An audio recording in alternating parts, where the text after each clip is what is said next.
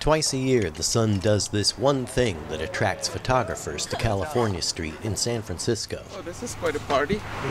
Shortly after sunrise, our nearest star will line up straight down California Street. Good morning, good morning. Some call it California Henge. I, this is my first. Oh, okay. We'll see. This crowd is growing at the crest of a hill at California and Gough Streets. The goal is to photograph the sun when it's just above the middle tower of the western span of the Bay Bridge. I was out yesterday to take a picture of the clouds. A cloud cover is threatening to cancel the show. Some arrived hours ago to claim and defend their territory.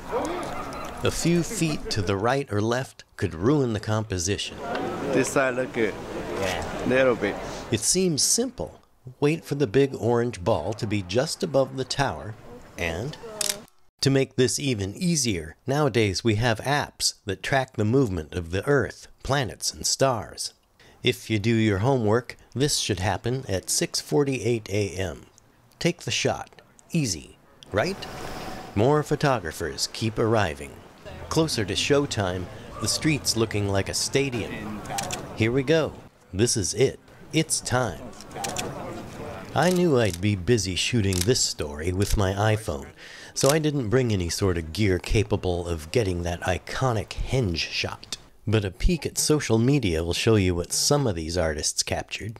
I did come back a year later with my only DSLR, and this was the best I could do.